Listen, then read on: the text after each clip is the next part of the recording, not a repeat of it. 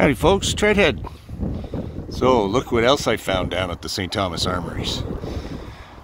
Um, in Deutsch es ist Biber or beaver.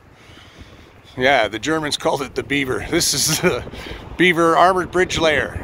So it's mounted on a Leopard 1 hull. With a little bulldozer blade type thing on the front there as a front stabilizer. Um, so yeah, it's a Leopard. It's got the 100 and, or 830 horsepower turbocharged diesel, which means she's got power to burn.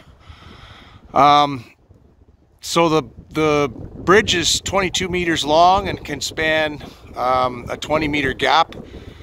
Um, so what would happen? The lower section of the bridge there would be slid out forward, and the top section slides backwards, and then they link together. And uh, and then the bridge is extended over whatever you the river or stream that you want to uh, cross. So um, if I'm gonna post a link down in the description of uh, a video that shows a Dutch um, a Dutch uh, Leopard 1 bridge layer in operation so you'll see how it is actually exactly it goes. All right so let's walk up and get a little closer look here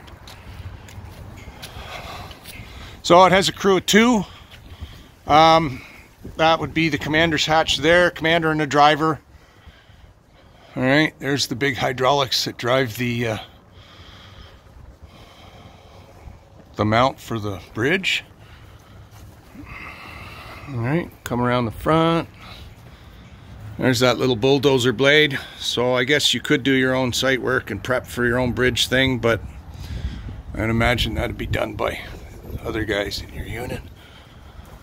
All right, there's the driver's hatch right there. Um, so apparently you can deploy the bridge from inside the tank or remotely from outside. Either one will work. There we go. Suspensions, torsion bar, seven road wheels per side.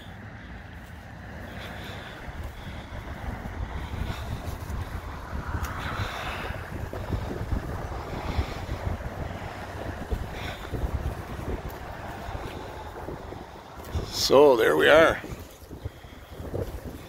And smoke launchers up there. Cool.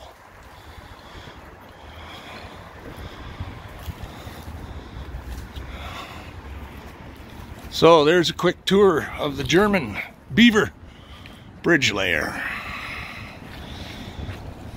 All right, thanks for coming out. We'll talk to you later. Bye now.